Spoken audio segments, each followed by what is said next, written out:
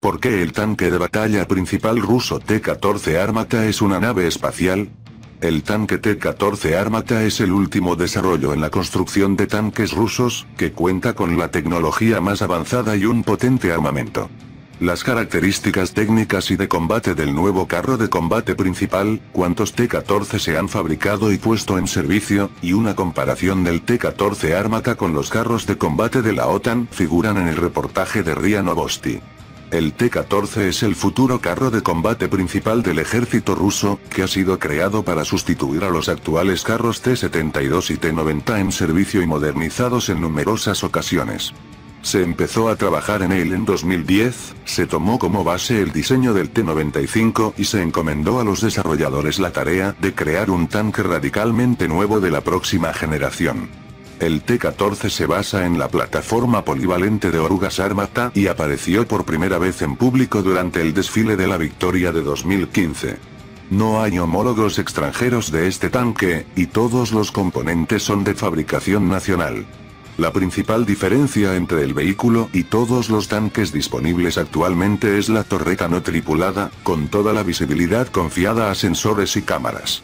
La tripulación, compuesta por comandante, artillero y conductor, se encuentra en el compartimento de combate, amplio y cómodo para permanecer en él, equipado con monitores, y el control del fuego se realiza mediante tabletas y paneles de control. Según los diseñadores, la sala no se parece en nada a la cabina de un tanque. Solía conducir el T-72 y T-90, pero en el T-14 la sensación de tanque se pierde por completo. Es como estar en una nave espacial rodeado de monitores que muestran toda la información de los sensores, afirma Denis Mjakinski, ingeniero de diseño del equipo de desarrollo del T-14 de Uralvagonzavod. Se trata del primer tanque creado para afrontar los retos de la guerra centrada en la red. El vehículo no lucha solo, sino como parte de un grupo, cuyos miembros están en constante interacción entre sí y se controlan a través de un único sistema. Dicho grupo puede incluir obuses, helicópteros, tanques T-90, vehículos pesados de combate de infantería. Las principales tareas del T-14 son el reconocimiento, el control del fuego y la designación de objetivos. ¿Cuántos tanques T-14 Armata hay en servicio en Rusia? Los tanques de nueva generación serán suministrados al ejército ruso de forma escalonada y planificada a medida que expire la vida útil de los vehículos de la generación anterior. Se ha informado de que Uralvagonzavod suministró 20 tanques T-14 a las tropas en 2021. ¿Dónde se fabrica el carro de combate principal? El tanque ha sido diseñado por la ICINA de Diseño de Construcción de Maquinaria de Transporte de los Urales y la Corporación Uralvagonzavod, con sede en Nizhny Tagil. El diseño del tanque incorpora las mejores prácticas soviéticas y rusas de construcción de tanques. Diseño y descripción. Además de ser capaz de llevar a cabo misiones centradas en la red, el T-14 también está dotado de una importante potencia de fuego, precisión y cadencia de tiro.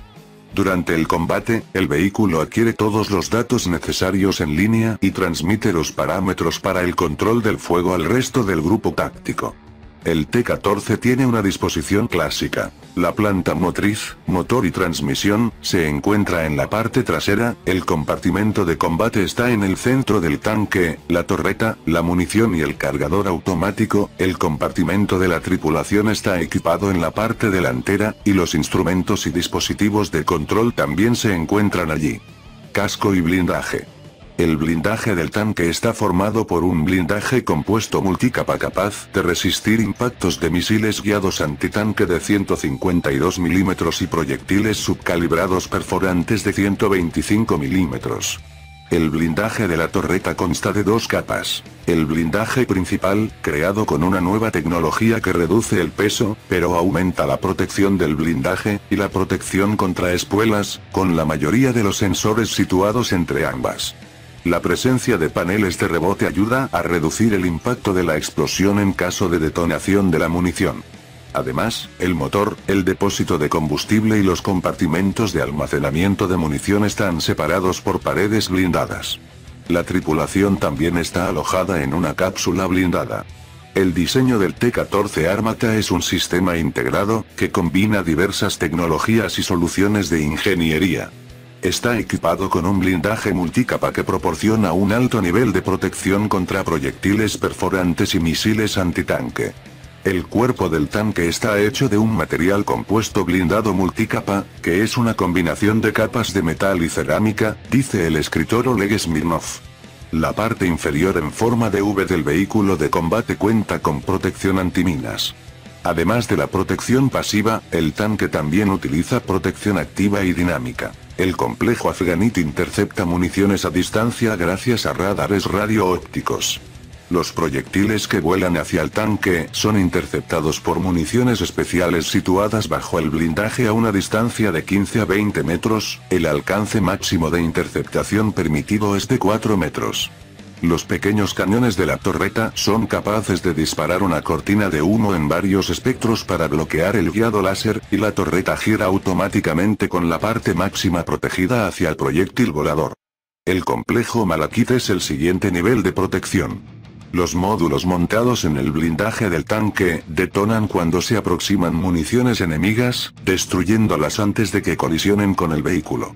Este sistema es eficaz contra proyectiles perforantes y misiles.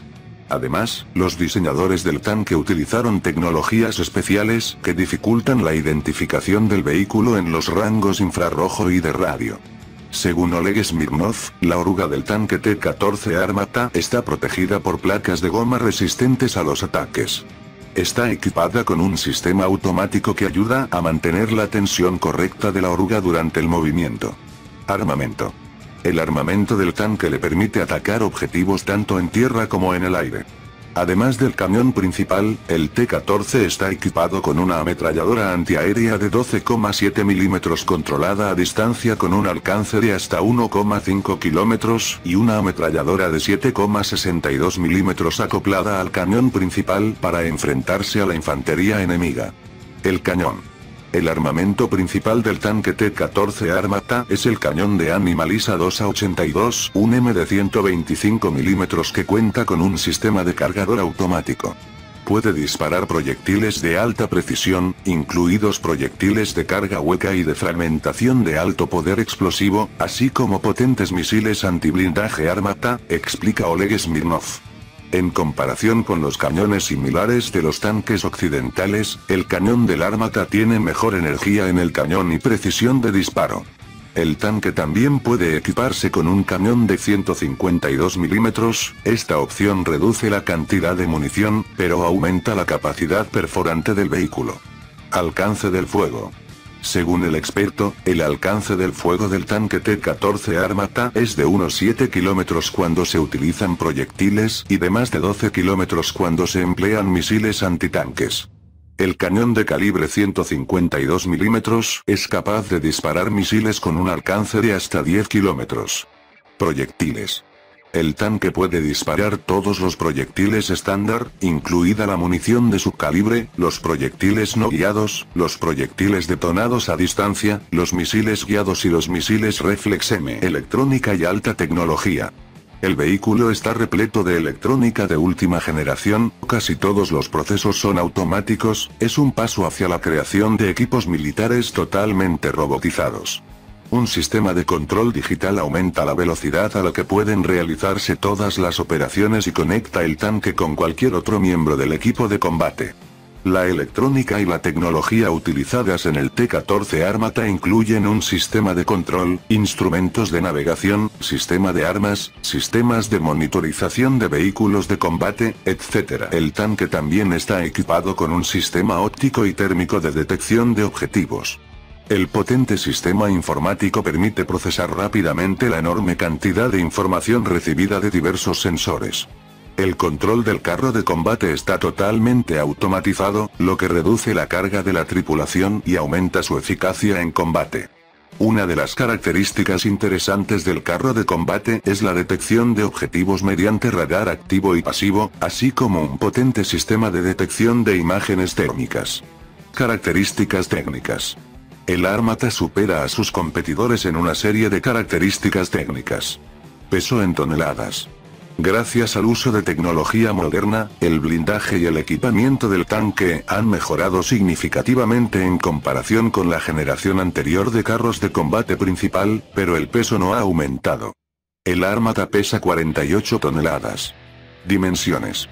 El tanque tiene las siguientes dimensiones. Longitud del casco 8,7 metros. Longitud con el cañón hacia adelante 10,8 metros, anchura 3, 9 metros. Altura 2, 7 metros. El motor. La base del tanque es una plataforma transformador de orugas pesada. El motor es un diésel de 12 cilindros en forma de X. Su potencia puede variar de 1100 a 1600 caballos de fuerza y tiene una relación potencia-peso de unos 31 caballos de fuerza por tonelada. Dispone de caja de cambios automática con opción de cambio manual y suspensión activa. Consumo de combustible. El consumo de combustible según fuentes abiertas es de unos 100 litros cada 100 kilómetros. Velocidad y movilidad. Según Oleg Smirnov, la velocidad máxima en carretera es de hasta 90 km por hora, fuera de carretera de hasta 70 km por hora. El tanque es capaz de atravesar obstáculos de agua hasta una profundidad de 5 metros, incluidos ríos y embalses. Tripulación. La tripulación está formada por tres hombres, el conductor mecánico, el artillero y el comandante. Todos están alojados en un gran compartimento blindado en el centro del tanque, uno al lado del otro, lo que facilita la comunicación y la interacción directas. ¿Cuánto cuesta el T-14 Armata? No se ha anunciado el coste del T-14 Armata.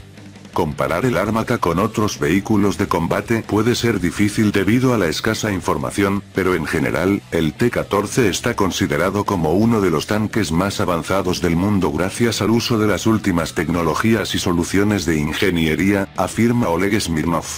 El T-14 frente al tanque estadounidense Abrams. El Armata está menos blindado que la máquina estadounidense, los ingenieros rusos apostaron deliberadamente por el uso de protección activa y pasiva en lugar de lastrar el tanque con un potente blindaje. La penetración del blindaje del camión de 125 milímetros del T-14 se ha mejorado hasta tal punto que supone una amenaza incluso para el blindaje frontal del Abrams a corta y media distancia. Ambos tanques son capaces de destruirse mutuamente, por lo que es imposible decir cuál es mejor. El cañón de Animalisa 2 a 82 de 125 milímetros, según el fabricante, es un 17% más potente que el cañón de tanque Rheinmetall de 120 milímetros con el que está equipado el Leopard. Los expertos estiman que si un proyectil Armata impacta en el blindaje en un ángulo de 90 grados desde una distancia de 2000 metros, su penetración se estima en 1000 milímetros RHA mientras que la misma cifra para el Leopard 2 es de 750 milímetros. La resistencia del blindaje se clasifica de la misma manera. El Armata tiene entre 900 y 1000 milímetros RHA, y el Leopard entre 680 y 700 milímetros. Además, el tanque alemán es menos maniobrable debido a su propio gran peso. Hasta la fecha no hay pruebas fiables de que el tanque se haya utilizado en combate. Bienvenidos a nuestro canal Poderío Armadas, suscríbase a nuestro canal para tener la mayor información de la actualidad mundial, si te gustó el video dale like, gracias por su visita a nuestro canal.